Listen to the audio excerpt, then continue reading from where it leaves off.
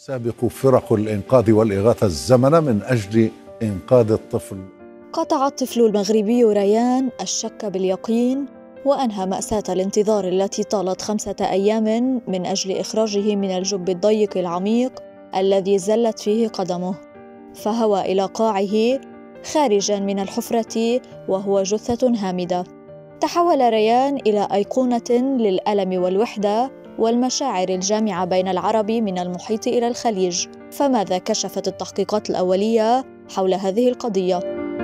بعد وفاة ريان المغربي بدأ أحد المحققين بالتدقيق حول القضية وذلك بعد أن تساءل المتابعون عن خلفية وجود حقائق خفية في وفاته وفي التفاصيل أكد مصطفى منيف أحد الكاتبين المعروفين في الوسط الإعلامي والمشرفين على قضية ريان أن الأمر كان مقصودا ومن أجل التطبيل لملك المغرب العاهل محمد السادس.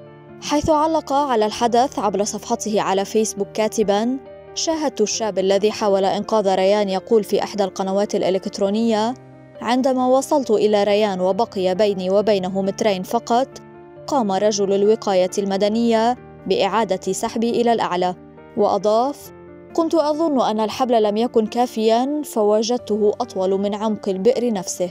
طلبت إعادتي إلى البئر لاستكمال عملية الإنقاذ لكنهم رفضوا وأحضروا هذه آليات الحفر الغريبة.